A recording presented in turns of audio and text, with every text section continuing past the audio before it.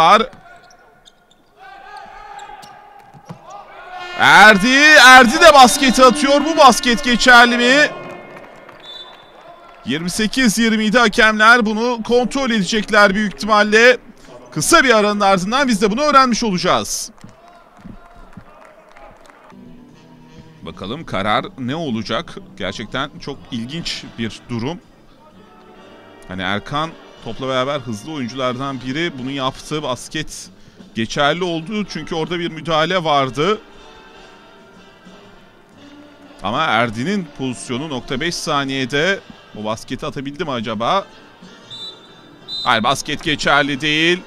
28-20 ilk çeyreği Türk Telekom önde kapatıyor. İşte izliyoruz pozisyonu. Erdin elinden çıkmadan kırmızı ışıklar yandı.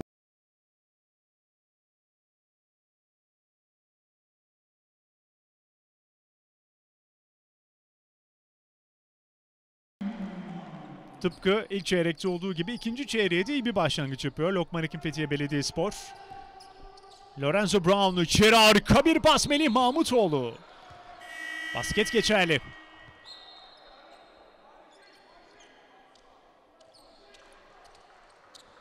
Yeniden izliyoruz.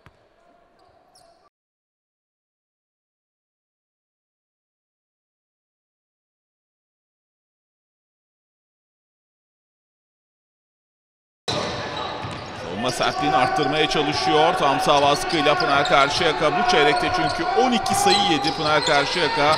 4 dakikada atış kaçtı. Hızlı geldi DJ Kennedy. DJ Kennedy'ye yapılan müdahale faul. Sarınas Vasileuskas faul yapıyor DJ Kennedy'ye. Yerde diye işaret ediyor Sarınas Vasileuskas çünkü faulü hisseder hissetmez o potaya gönderdi DJ Kennedy orada.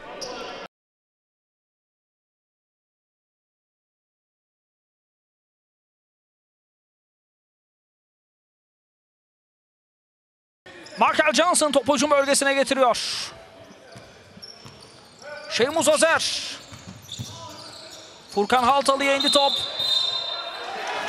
Bir Evet ve sportmenlik dışı faul düdüğü. Jonathan Williams'ın o alamadığı, kendine göre hak ettiği ama alamadığı düdük şu anda psikolojisine yansıdı. Kasti bir müdahale Jonathan Williams'tan. Emil Jefferson burada- oyunda. Furkan topu aldığında arkadan Jonathan Williams kenara geliyor.